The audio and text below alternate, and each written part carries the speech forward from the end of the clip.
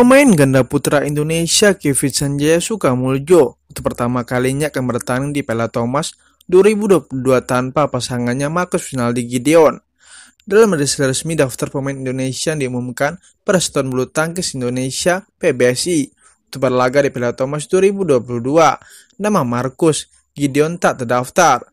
Kabit Binpres PBSI Rioni Mainaki menjelaskan bahwa Marcus masih menjalani masa pemulihan sehingga tidak bisa tampil di Piala Thomas kali ini.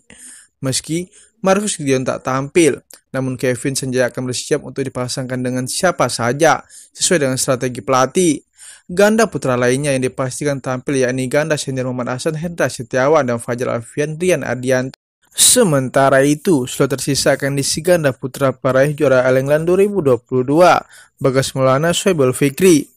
Dari rilis yang telah dikeluarkan, siapa pasangan baru Kevin Sanjaya cukup mengundang penasaran pecinta bulu tangkis Indonesia.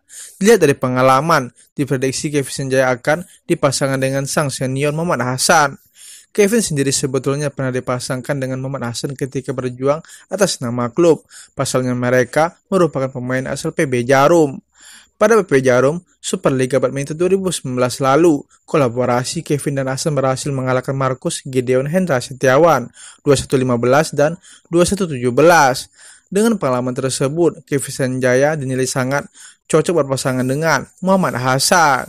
Selain dengan Muhammad Hasan, Kevin Sanjaya kemungkinan bisa dipasangkan dengan Fajar Alfian yang disebut media Cina, IUK sebagai pasangan Kevin di masa depan. Bagaimana menurut kalian guys? Salam kabar timnas.